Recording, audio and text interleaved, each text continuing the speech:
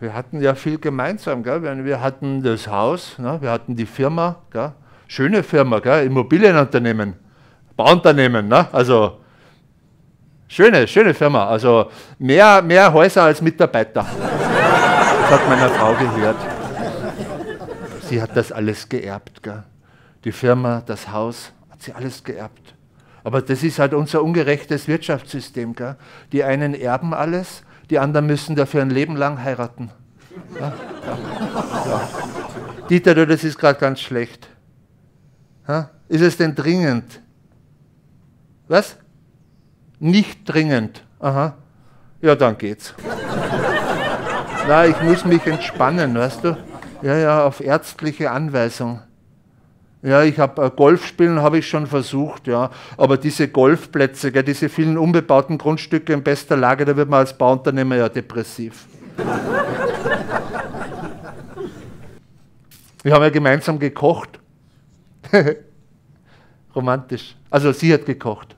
Aber ich habe geholfen, ich habe abgespült, gell, Geschirr abgespült. Und einmal habe ich mich so ungeschickt angestellt dabei, dass sie so gerührt war, dass sie mich gefragt hat, willst du mich heiraten?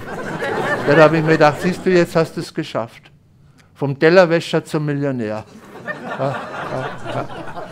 Die, die Statue im, äh, bei der Einfahrt, die habe ich gekauft. Gell? Gut, ich habe mich ein bisschen überreden lassen, weil angeblich war ich nicht mehr ganz nüchtern.